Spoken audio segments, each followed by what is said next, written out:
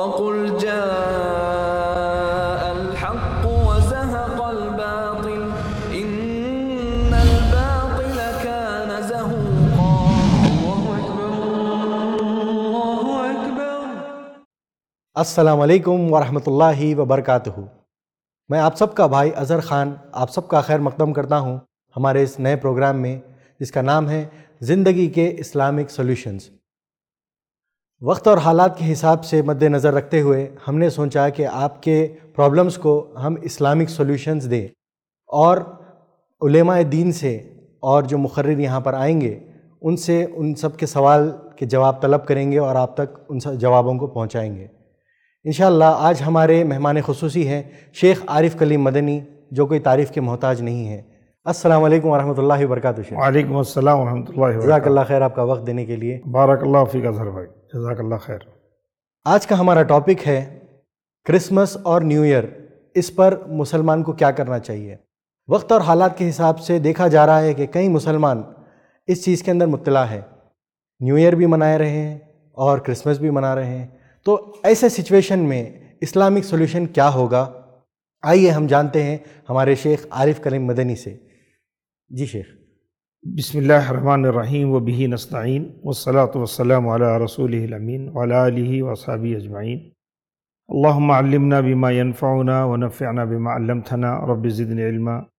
رب شرح لی صدری ویسر لی امری وحلل عقدۃ من لسانی یفقہ قولی. برادر عزیز نے سوال کیا ہے کہ موجودہ حالات میں لوگ جو کرسمس یا نیو ایئر کی مبارکباد دیتے ہیں، وہ کس طریقے سے اس کو ہم دیکھتے ہیں؟ اسلام نے ایک قاعدہ بتایا ہے، ایک رول بتایا ہے۔ وہ قاعدہ اسلام کا بڑا پاک اور صاف ستھرا ہے۔ اسلام ایک صاف ستھرا دین ہے، جس کے اندر ہر قسم کی گندی اور بری چیزوں سے اس کو پاک رکھا گیا ہے۔ کیونکہ یہ من جانب اللہ ہے۔ تو اسلام نے جو قانون بتایا ہے، رسول کریم صلی اللہ علیہ وسلم کی صحیح حدیث ہے۔ صحیحین کے علاوہ یعنی امام بخاری اور امام مسلم کے علاوہ، بہت سارے محدثین نے اس روایت کو بیان کیا ہے۔ امام ابو داود نے، امام ترمیزی نے، امام ابن ماجہ نے اپنی کتابوں میں اس حدیث کو حسن اور صحیح کا درجے تک اس کو دیا ہے۔ حدیث ہے، بڑی آسان حدیث ہے اور سب کے زبان زد خاص و عام ہے من تشبہ بقوم فہو منہم۔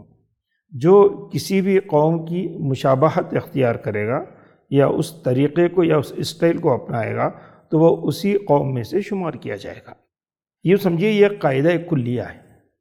اس حدیث کے سامنے اگر ہم اس کو سامنے رکھ کر جائزہ لیں گے، دیکھیں گے، تو ہم کو جواب دینے میں کوئی مشکل نہیں ہے۔ سب سے پہلی بات، دنیا ایک انسانی معاشرہ ہے، جس کے اندر مختلف مذاہب کے لوگ رہتے ہیں، مختلف ادیان کے لوگ رہتے ہیں۔ اسلام نے مختلف ادیان کی مخالفت نہیں کی، ان کو حق بتا دیا۔ اور حق بتا کر یہ کہا کہ حق دین اسلام ہے، آپ اس کو اپنائیے۔ اور یبتغ غیر الاسلامی دین فلاں يقبل منہ اور لکم دین ولی دین یہ بات بتا دی گئی ہے۔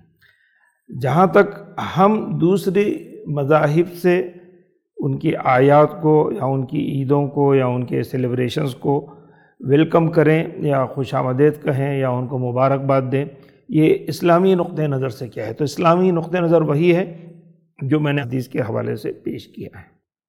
سب سے پہلی بات، اگر ہم کسی کو کوئی مبارکباد دے رہے ہیں، تو اس کے دو مطلب ہیں۔ ایک یہ کہ آپ اس چیز سے اتفاق رکھتے ہیں، جس چیز کی وہ آپ تہنیت دے رہے ہیں دوسرے یہ کہ آپ ان کے عقیدے میں ان کے ساتھ شیئر کر رہے ہیں۔ تو اگر یہ چیز اسلامی عقائد سے اور اسلامی تعلیمات کے منافی ہے، تو قطعا جائز نہیں ہے۔ آج کل کا جو کلچر ہے، اس میں مختلف قسم کے دن منائے جاتے ہیں۔ جسے مدرس ڈے مناتے ہیں، ٹیچرز ڈے مناتے ہیں۔ ایسے بہت ساری ایام ہیں جس کو لوگ مخصوص طور پر اس دن کچھ خاص چیزوں کا اہتمام کرتے ہیں۔ اسلامی نقطۂ نظر سے اس طریقے کا کوئی خاص دن سوائے عیدین کے نہیں ہے۔ رسول کریم صلی اللہ علیہ وسلم جب مدینہ منورہ تشریف لائے تو وہاں دیکھا کہ لوگ عید بنا رہے ہیں، وہ نوروز کی عید تھی یعنی نئے سال کی عید تھی۔ تو رسول کریم صلی اللہ علیہ وسلم نے پوچھا کہ یہ کس قسم کی عید ہے؟ تو انہوں نے بتایا کہ یہ نوروز کی عید ہے، یہ ہر سال منائی جاتی ہے۔ تو آپ نے وضاحت فرمائی کہ عیدین صرف دو ہیں، ایک عید الفطر جو رمضان کے اختتام پر منائی جاتی ہے، دوسرے عید الاضحیٰ اور اس سلسلے میں کہا، یہ سنت و ابیکم ابراہیم یہ تو ہو گئی مسلمانوں میں لیکن شیخ، یہاں پر دیکھا جاتا ہے کہ کئی لوگ جو ہوتے ہیں، وہ یہ کہتے ہیں کہ ہم تو مانتے ہی نہیں ہیں۔ ہمارا تو عقیدہ ہے نہیں کہ ہم کرسمس منا رہے ہیں، نیو ایئر منا رہے ہیں۔ ہم تو بس ایک دوستوں میں گیدرنگ کر رہے ہیں۔ یا پھر جو لوگ ہمارے کو جیسے عید پر مبارکباد دیتے ہیں، ہم ویسے ہی مبارکباد دے رہے ہیں، ہم عقیدت نہیں رکھتے۔ تو ان کے بارے میں کیا کہیں گے؟ اسلام کا مزاج جو ہے، چاہنے نہیں چاہنے کا نہیں ہے۔ میری مرضی کیا ہے؟ میں زمانہ کیا کر رہا ہے؟ میں زمانے کے خلاف میں جاؤں گا یا میرے ساتھی یا میرے کلیگ یا میرے روم میٹ یا میرے آفس میٹ یا میرے پڑوسی کیا کریں یہ اسلام نہیں دیکھتا ہے۔ اسلام کیا دیکھتا ہے؟ ہم کو وہ دیکھنا چاہیے۔ یعنی کہ معاشرہ کیا دیکھتا ہے؟ معاشرہ کا چشمہ کیا ہے؟ اس چشمے کے اندر میں فٹ بیٹھتا ہوں، نہیں بیٹھتا ہوں، یہ مطلب نہیں تو اس لحاظ سے لا خافون لومت لائن کہ اگر میں کسی نظریے کی مخالفت کروں گا تو میں لانت ملامت کا شکار ٹھہروں گا۔ یہ نہ سلف کا طریقہ رہا ہے، یا دین حق کا طریقہ رہا ہے۔ آپ کو لوگ مبارکباد دیتے ہیں، یہ ان کا حق ہے۔ یہ ان کو مناسب سمجھتے ہیں، دیں گے۔ اور میں کیا مناسب سمجھتا ہوں؟ میرا دین مجھے کیا سکھاتا ہے؟ میں کس چیز کو اسلام کے نظریے سے کس طریقے سے دیکھتا ہوں، یہ میرا مسئلہ ہے۔ سامنے والا مبارکباد دے رہا ہے تو اس کے جواب میں میں مبارکباد دوں۔ اگر کوئی مجھے معمولی سے مثال میں دے رہا ہوں، میرا کرسچن دوست مجھے شراب پیش کرتا ہے، تو کیا میں اس کے جواب میں اس کو شراب پیش کروں گا؟ کہ ایک حرام چیز قبول کروں گا؟ نہیں۔ تو اسلام میں خود عیدین کے علاوہ بھی کوئی عید کے نام سے آپ عید منائیں۔ وہ گیارہویں شریف کی عید لوگ کہتے ہیں نوز باللہ شریف کا نام لفظ لگاتے ہیں۔ ہر دن شریف اللہ کی نظر ہے۔ کوئی گیارہ یا بارہ تاریخ کا نہیں ہے۔ بارہ ربیع الاول کو خصوصی اہمیت دیتے ہیں۔ بائیس رجب کو خصوصی اہمیت دیتے ہیں۔ تو ایسا کوئی دن رسول کریم صلی اللہ علیہ وسلم کی زندگی میں آپ نے اس کی طرف اشارہ نہیں فرمایا۔ اگر سب سے زیادہ خوشی منانے کا دن ہوتا تو فتح مکہ کا دن ہوتا۔ کہ رسول کریم صلی اللہ علیہ وسلم اس شہر کو فتح کیے تھے، جہاں سے آپ چھپ چھپا کر ہجرت کیے تھے، اور بہت بڑی کامیابی تھی وہ۔ بغیر کسی جنگ کے ایک اتنی بڑی کامیابی ہوئی تو اس کو انڈیپینڈنٹ سے قرار دیا جاتا۔ رسول کریم صلی اللہ علیہ وسلم جب ہجرت کر کر آئے تھے، اس دن کو خوشی منانے کے لیے کہا جاتا۔ ایسا کوئی بھی رسول کریم صلی اللہ علیہ وسلم نے، یا صحابہ نے، یا اس کے بعد تابعین نے، یا طب تابعین نے، یا محدثین نے، یا فقہ نے، یا ہمارے صلف نے کئی صدیوں تک اس پر کسی قسم کی کوئی بات نہیں کہی۔ یعنی کوئی واقعہ کا ہونا اس کا مطلب یہ نہیں ہے کہ اس کو سیلیبریٹ کرنا یا اس کو منایا جانا۔ واقعہ تو ہے برحق ہے لیکن اس کو منانے کی اجازت نہیں ہے۔ ہاں زندگی میں بہت سارے واقعات آتے ہیں اس کی کچھ خصوصیات ہوتی ہیں۔ اس خصوصیات کو یاد بھی کیا جاتا ہے لیکن اس خصوصیات کو عید کا نام نہیں دیا سکتا۔ جیسے اب عید کرسمس کی بات آ رہی ہے تو یہ عقیدہ ہے کرسچنز کا۔ کرسچنس کا عقیدہ یہ ہے کہ حضرت عیسیٰ علیہ السلام پیدا ہوئے اور اللہ کے بیٹے کی حیثیت سے پیدا ہوئے۔ تو یہ شرک ہے کہ اللہ کے ساتھ کسی کو شریک ٹھہرانا۔ قرآن کہتا ہے کہ تقاد السماوات یہ تفترنا آسمان پھٹ پڑے گا، زمین پھٹ پڑے گی کہ اگر ایسا عقیدہ تم رکھتے ہو اور پہاڑ ہل جائیں گے رضا رضا ہو جائیں گے کہ تم اللہ کے ساتھ ایسا عقیدہ رکھو کہ اللہ کی اولاد نہیں ہے، جبکہ دوسری کتابوں میں جو انہوں نے تحریف کی ہے، بغیر تحریف کے اگر دیکھا جائے تو یہ عقیدہ ہر کتاب میں موجود ہے۔ قل هو اللہ احد، اللہ الصمد، لم یلد ولم یولد۔ اور اس عقیدے کی وہ تردید کر رہے ہیں کہ اللہ تبارک تعالیٰ کی اولاد ہے۔ نعوذ باللہ، یہ سب سے بڑا شرک ہے۔ تو ہم جانے انجانے میں اس کی تائید کر رہے ہیں۔ سبحان اللہ یعنی کرسمس منانا یا جانا، اس کی مبارکباد دینا، لینا، یہ شرک ہے۔ شرک کی تائید کر رہے ہیں، بلکہ ہم مشرک ٹھہر رہا رہے ہیں۔ اس کے اندر کی ایسی چیز جس کو اللہ تبارک تعالیٰ نے کہا کہ ایسا اللہ کے ساتھ تصور کریں گے تو آسمان پھٹ جائے گا اور زمین پھٹ جائے گی، اس کے اندر پہاڑ ہل جائیں گے اور اتنی بڑی کہ اللہ تبارک تعالیٰ سے اس کو سوچا بھی نہیں جا سکتا ہے، تصور بھی نہیں کیا جا سکتا ہے۔ اور اس کے اندر بھی بہت ساری گمراہیاں ہیں۔ سب سے پہلی بات یہ جو ان کا عقیدہ ہے پچیس دسمبر، یہ پچیس دسمبر کے اندر خود ان کے پاس اختلاف ہے۔ اس کے اندر تین تاریخیں آئی ہیں۔ میں نے کہا کہ یہ پچیس دسمبر ہو ہی نہیں سکتا۔ ہاں آرمینین جو کلیسا ہے آرمینیم کلیسا رشیا سے جس کا تعلق ہے، یہ لوگ انیس جنوری مانتے ہیں۔ اور ایرتھوڈکس جو کرسچنس ہیں، وہ چھ جنوری مانتے ہیں۔ تو اس لحاظ سے ان کے پاس بھی یہ عقیدہ غلط ہے۔ میں اس جگہ پر گیا، میں بذات خود اس جگہ پر گیا، بیت الحم میں، جہاں پر حضرت عیسیٰ علیہ السلام کی پیدائش کی جگہ بتائی گئی۔ اور وہ درخت بھی میں نے دیکھا جس کے بارے میں کہا جاتا ہے۔ واللہ عالم کہ حضرت مریم کو اس کے نیچے اور اس درخت کے سلسلے میں کھجور کی جو کھانے کی بات آئی ہے، اس میں اس سے استفادہ کرنے کی۔ وہ ساری چیزیں میں نے نفس نفیس فلسطین میں اپنی آنکھوں سے دیکھی۔ وہاں وقت گزارا میں نے دیکھا اور لوگوں سے بہت سارے اس سلسلے میں سوالات کیے۔ بعد میں جب تحقیق کرے تو اس کے اندر بہت ساری چیزیں، روایات ان کے پاس خود متضاد ہیں۔ اور جہاں تک یہ تاریخ ہے، مسیحیت کی تاریخ، ان کا یہ جو کیلنڈر ہے، گیلیگورین کیلنڈر، یہ کیلنڈر چار سو پچاس سال کے بعد شروع ہوا۔ نہ کہ اس تاریخ سے شروع ہوا، جس تاریخ سے حضرت عیسیٰ علیہ السلام پیدا ہوئے۔ چار سو پچاس سال کے بعد کسی پوپ نے اس تاریخ کو شروع کیا اور اس کے بعد وہ سلسلہ جاری ہے، تو اس میں کم و بیش چار مہینے کا فرق بتا رہے ہیں۔ چار مہینے کا فرق بتا رہے ہیں۔ تو اس میں کسی نے کہا کہ یہ جو پیدائش جنوری کی ہو ہی نہیں سکتی۔ اس لیے کہ جنوری کے مہینے میں پھل نہیں لگتے۔ خاص طور پر کھجور کی پیداوار نہیں ہوتی۔ کھجور کی پیداوار گرمی کے دنوں میں ہوتی ہے۔ اور عرب میں شدت کی گرمی جولائی اور اگست میں ہوتی ہے۔ تو اس لحاظ سے ان کی تاریخ میں اگر دیکھا جائے تو یہ جولائی اور اگست کے درمیان کے واقعات ہیں۔ تو ان کا جو کیلنڈر آ رہا ہے وہ کیلنڈر غلط ہے۔ کیلنڈر ہر قوم بناتی ہے۔ یہودیوں کا کیلنڈر ہے اور ان کے پاس اس میں جو مہینہ ذکر کیا جاتا ہے وہ ایلول کا مہینہ ہے۔ اور ایلول کا مہینہ جولائی کے لیے استعمال ہوتا ہے، جو یہودی کیلنڈر ہے۔ اور یہ لوگ جو جنوری کا حساب کرتے ہیں، اس کے لحاظ سے بھی وہ فٹ نہیں بیٹھتا ہے۔ تو پہلے خود اس کے اندر کافی قسم کا اختلاف پایا جاتا ہے۔ تو اس لحاظ سے اس چیز کو قبول کرنا ہمارے لیے ضروری نہیں ہے۔ اور دوسری بات کہ وہ لوگ اس عقیدے کے ساتھ مناتے ہیں کہ یہ اللہ کا بیٹا پیدا ہوا ہے اور ہمارا نجات دہندہ ہے۔ ہم رسول کو نبی کی حیثیت سے تسلیم کرتے ہیں، ہدایت اور مرشد کی حیثیت سے اور دائی کی حیثیت سے، ہادی کی حیثیت سے قبول کرتے ہیں۔ نہ کہ منجی، نجات دینے والا، نہ کہ ناجی۔ ناجی اللہ تبارک تعالیٰ۔ ان نقل تحدی من احبت ولیکن اللہ یہدی من یشا معروف آیت ہے۔ اگر ایسا ہوتا تو ابو لہب مسلمان ہو جاتا۔